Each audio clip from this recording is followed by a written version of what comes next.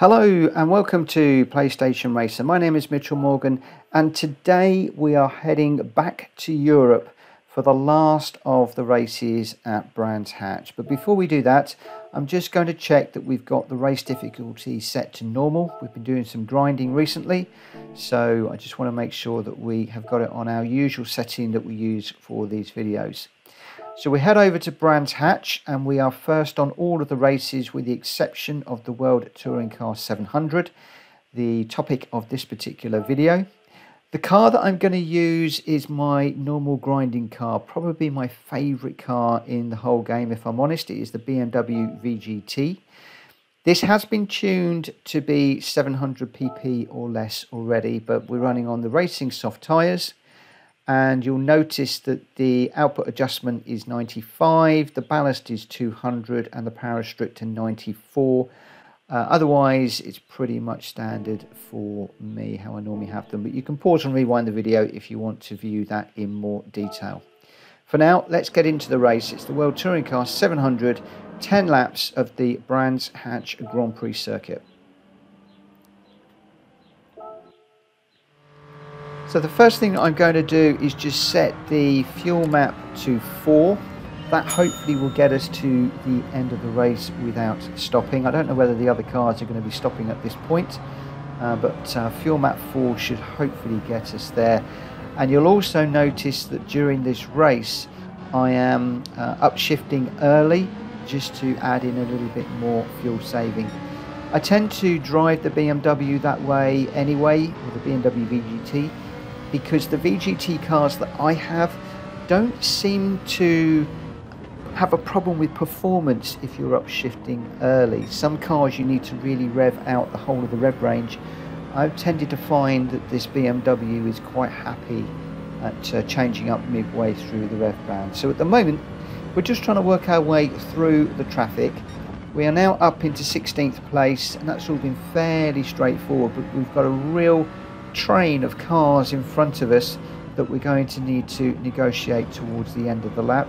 So I'm just trying to get onto the back of them as quickly as we can. I will take you through my turning points, braking points, gears, etc. in a moment, but you can, of course, pause, rewind the video, run it more slowly if you want to analyse things a little bit more. I'm not the perfect racer, I'm average at best, but this is how I managed to get gold on this particular track. So we got the uh, Mazda and the Lamborghini getting into each other there. We ran into the back of one of those on the way in as well, but we did manage to get through there and then up through the gears as we approach the first corner. So braking between the one and two board. I've got to navigate these two cars as well, so the Mustang is getting in the way a little bit underneath the bridge and we bury the brake pedal down into second gear but the Mustang's come up the inside which means we can't take our normal line. Once we've cleared the Mustang we can come across the track, brake for the pretty much the full length of that piece of curb, turning in before the end of the curb and then a short run down to this corner where I start to brake at the beginning of the curb down into third gear and that's the right hand side curb that I'm watching for and then up through the gears and again we've now got to watch for some reasonably uh, tidy overtakes on some of these cars as we get to what I find one of the trickiest sections of this particular track. So watching out for the boards here, I'm pretty much braking so just before the number one board down into third gear to get turn in and also trying to take quite a lot of the curb on the inside. Caught these definitely at the wrong time there. We've gone too wide again with the Aston Martin and the Lexus. I'm opting to try and follow through the Aston Martin. That paid off. And just trying to regulate my braking so that I don't actually run into the back of the Aston. Braking on the number one board to outbrake the Aston Martin using third gear and we need to try and come up the inside of these two. We need to go the outside of the BMW and then we need to get lined up for the first corner. So again, braking midway between the two and the one, down into fourth gear, being careful not to run too wide and into the gravel. Braking as we go underneath the bridge down into second gear for rotation, pick up the apex and then we can let it drift out to the left hand side. Can probably do that a little bit more.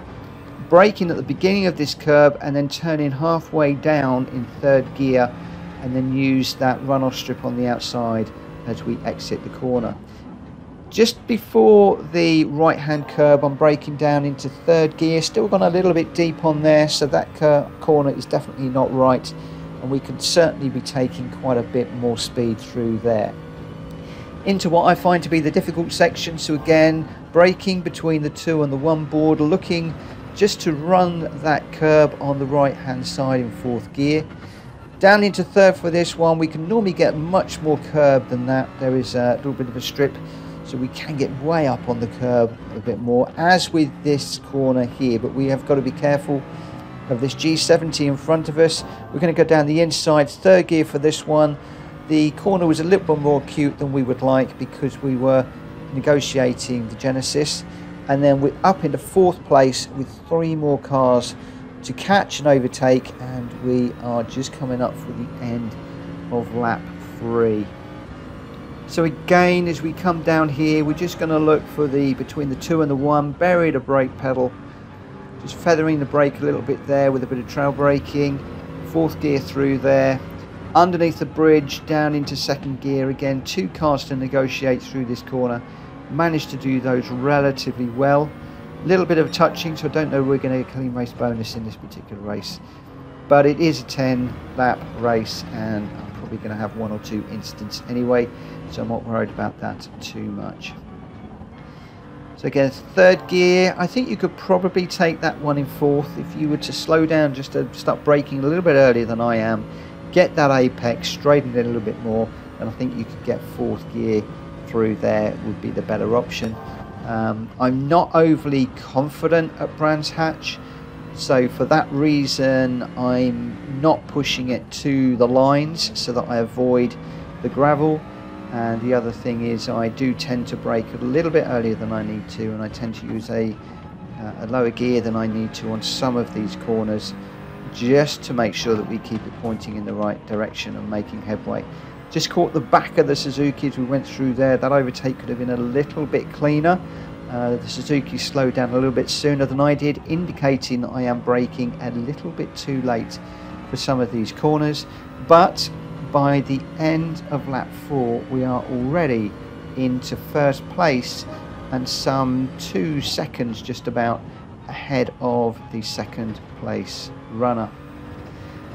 So now it would be quite nice to try and build a pit stop and that would give us the ability to pit if we did need to. But at this stage where I'm way out in front I've moved the power setting out to 6 so full lean because we know that we've got the speed to get in front and stay in front of these cars. Just looking at the time to the car behind we're still making time on the second place up to 5.2 5.6 so making some good time on the car behind. So I've just leaned the fuel mixture right the way off so that we will have enough fuel to get to the end of the race. Probably would have needed to do that anyway because we've got uh, five laps, six including this one, and we've got 5.4 laps of fuel. So probably only just enough fuel to get to the end of the lap anyway. So leaning it off to six would have been better. That was a much better corner, taking a lot more of the inside. And with that one, just getting the left-hand tyres just to run across that bit of curb is really nice. I find that this BMW is really settled around this course and really, really suits this track no end. So that is lap 5 done and it's just same old, same old from here on in just giving these corners just a little bit of respect. I've gone a bit wide there. You don't really want to go any wider on that section, otherwise you are likely to put wheels into the gravel. Now great news for us is the third and fourth place drivers are both pitting. They're on hard and medium tyres. We're on the racing soft, so we've definitely got a much faster compound than the people around us but as you'll see on lap 10 sorry lap 6 of 10 our tyres are actually looking in pretty good shape we're not sliding this through all of the corners We're not throwing it into corners. We're taking it relatively easy and just looking after these tyres as much as we can. So I don't think there's any real need to go for the uh, harder compound tyres unless you really want to do things with the tuning but as you can see with this particular car and this tuning this is really a slum slam dunk race. We are 17 and a half seconds ahead a little over halfway through. We're on the lean setting which is the slowest. We are fuel saving as well by changing up early and we're still still way way way ahead as we come over the line.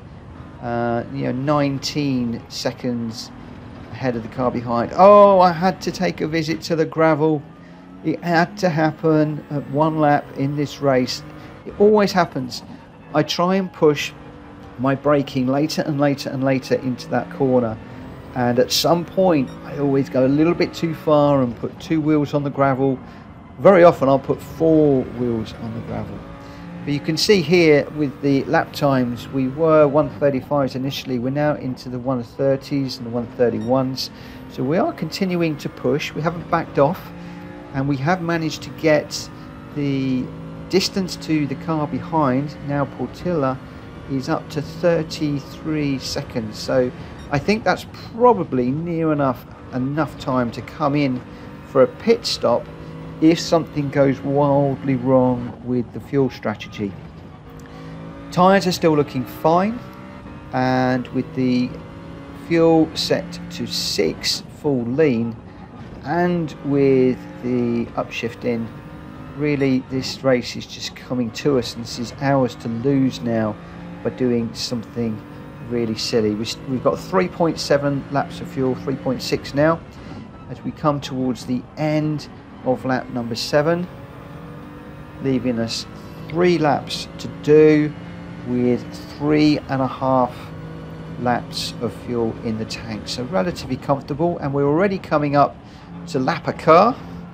Uh, that was a little bit unexpected, wasn't quite expecting to be lapping cars, but nice to be doing that and we are now coming around to lap the Mustang as well which we'll need to be pretty careful getting by through this section.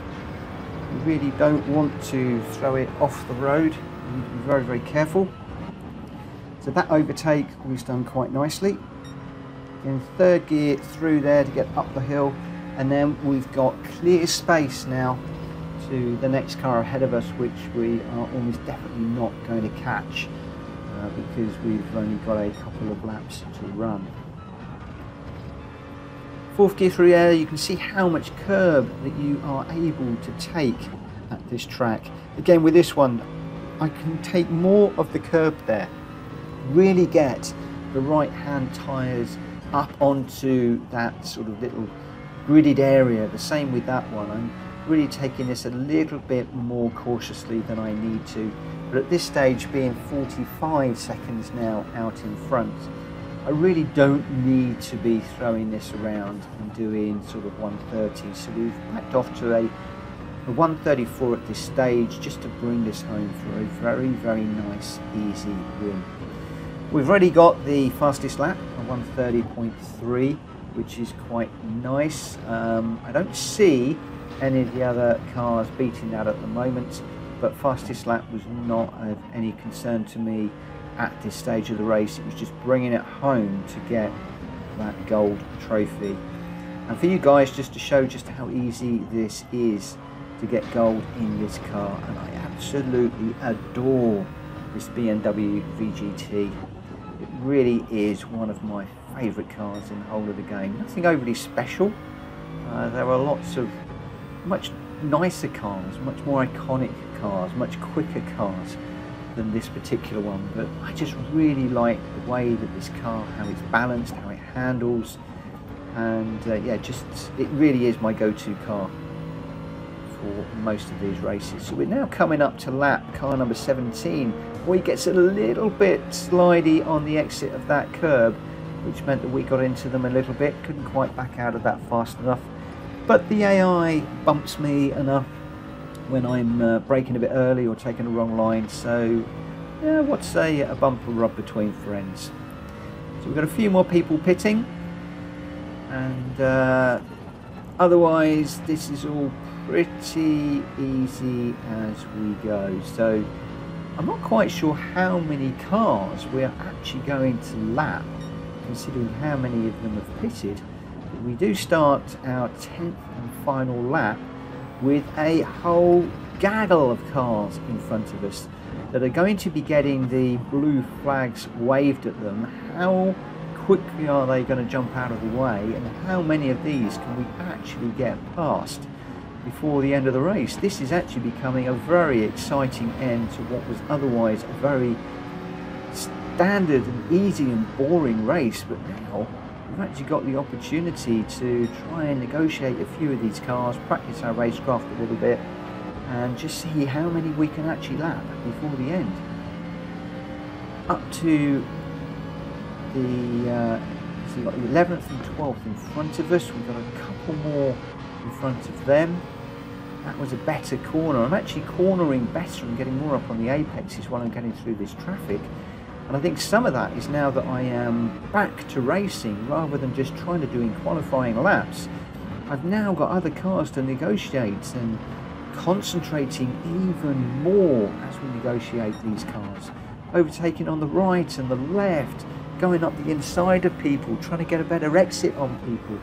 This was really, really exciting and thoroughly, thoroughly enjoyed this. So the fuel saving was absolutely fine. We had nearly a whole lap, so we could have actually left the fuel setting to maybe four or five after we it off, but it wasn't an issue.